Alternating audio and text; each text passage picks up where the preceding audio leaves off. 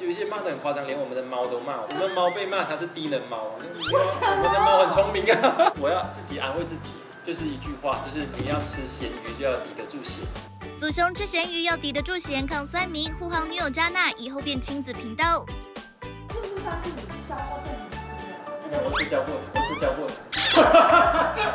同志天才祖雄和乌克兰籍女星加纳大方坦诚，已从炮友升华成恋人。加纳呢，却被爆料成为炮友时，根本没和前任地保男脆干净，仍和对方有金钱往来。我可以下一句总结就是：第一，我相信他；第二，就是那些报道就是真的是不符合事实。我们就是一开始没有设定要在一起，所以我们很敢把过去的所有的事情，那时候早就已经都分享。对对对对，我要自己安慰自己。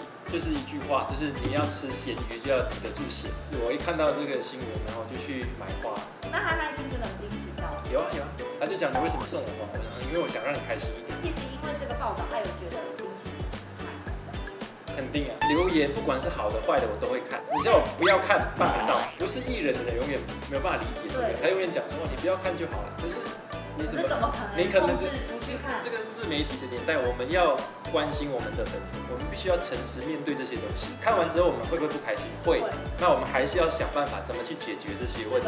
有一些骂的很夸张，连我们的猫都骂。我们的猫被骂它是低能猫，我们的猫很聪明啊。我们并没有在倡导说什么很夸张的。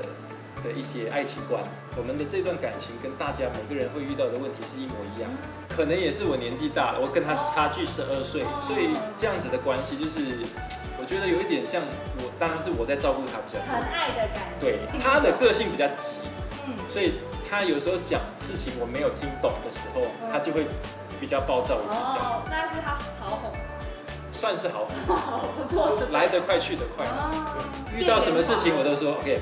最重要是不吵架，我们有有办法沟通就沟通，没有办法沟通，他真的生气了，好，我们忍一下，等一下再沟通，就是都会是以要解决问题为为主。交往确认关系的时候，你们有想到就是结婚生小孩这一块，还是其实没有想那么有，而且我觉得我是一定会想要结婚生小孩。大家讲起来好像很很大尺度什么，可是我想法还是比较传统，嗯，所以我觉得不结婚，人生是不完美，而且他的。父母催的还比我父母更凶。他会投入就是要帮助你的健身事业。健身事业可以啊，我问他要不要当我的模特，他说 OK。但是现在最主要还是以完成学业为目标。他的目标是要念到至少研研究所。